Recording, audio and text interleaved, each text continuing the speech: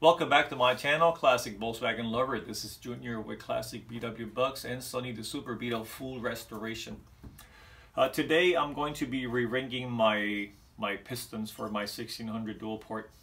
Um, I got these at the Volkswagen Fest last year. Um, these company, these rings have been in the market since 1922. This is a good brand. I paid like 39, I think it was $39 for these um, actually $35.99 for these. Uh, good brand. So when I unbox them uh, the first thing I always do I always when I unbox these I look at the manufacturer instructions uh, for the ring installation. You always want to make sure you take a look at the instructions and read them to the T to make sure that you're following their guidance.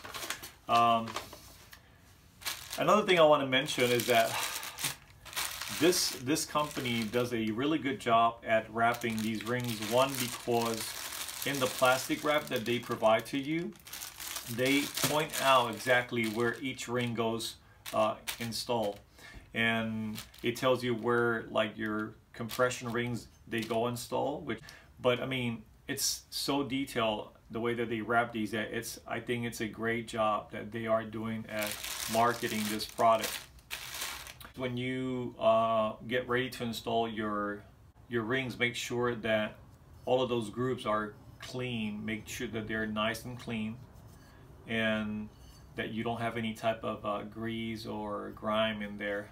Then you want to take one of your rings and do a, a trial and error fit. So make sure that they actually go in there easy. The next thing I want to point out is that when you're installing your your rings these have a orientation um, and what that means is that they have a top and they have a bottom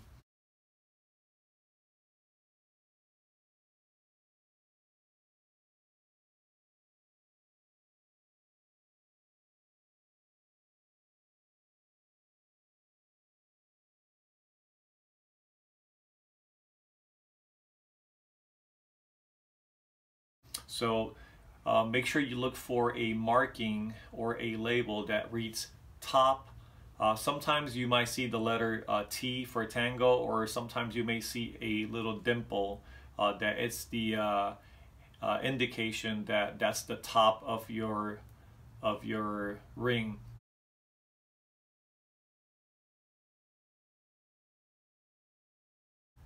when I install it in here, this is the top of my piston that text that reads top is going to be installed up in that direction.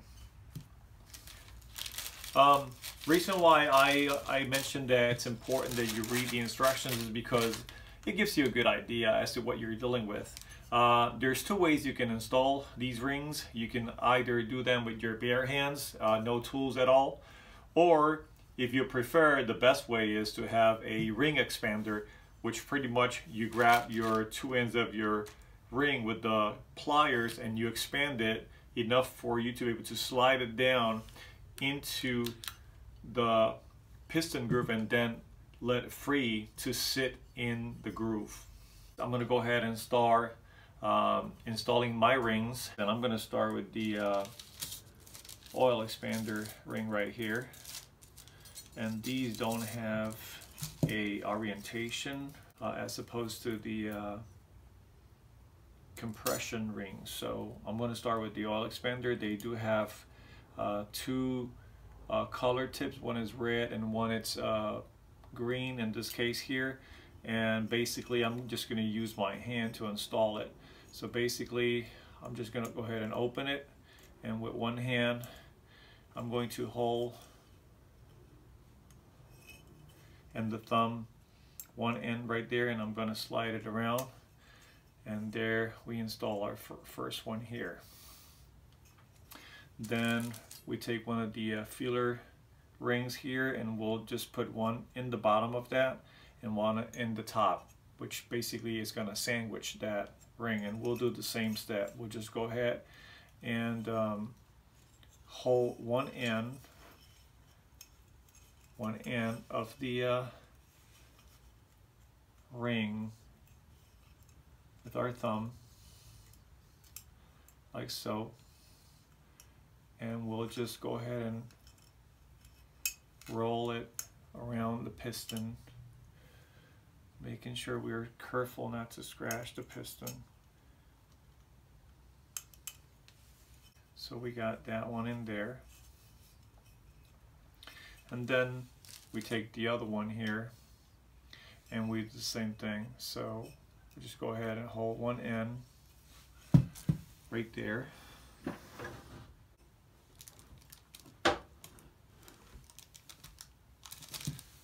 Roll this here around.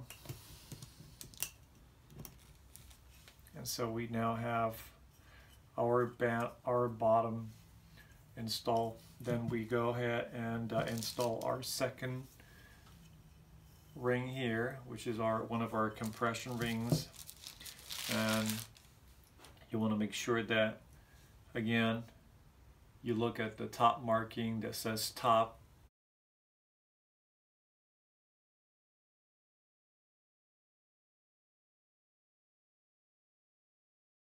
That's the orientation for that. And basically you do the same thing. You line up one end, and then you hold it, your thumb, and you roll, you roll it, and it's in there. And we do the next one, which is the last one right here, making sure the word top is at the top right there. And again, go ahead and hold one end in place like so.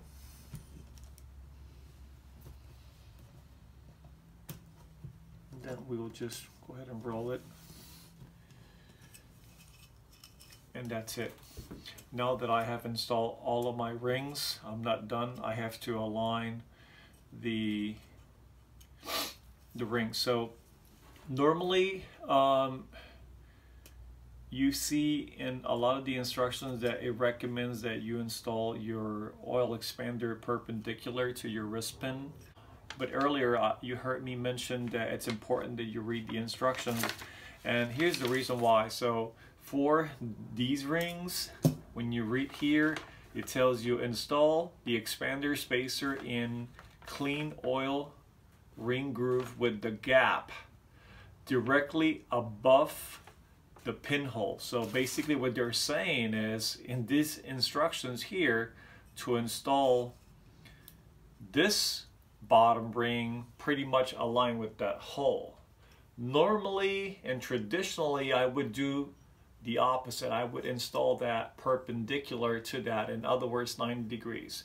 But um, I'm just going to go with these instructions and uh, see what happens. Um, and then once you do that, then the next thing you want to do is the two rings that sandwich that spacer is you want to set them one to the left and one to the right. Uh, and you want to space them about one inch apart. So basically you roll that in that direction you can use your nail or you can use something just to push it. Basically, you just want to go in that direction. Then we'll go ahead and move this back to the center and then we'll take the other top that it's sandwiching that and we'll just roll it. We're actually clocking it about inch to an inch and a quarter away from the expander.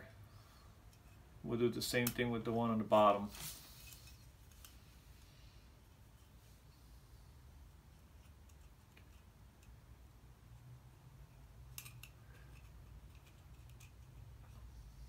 Hmm. That's about one inch.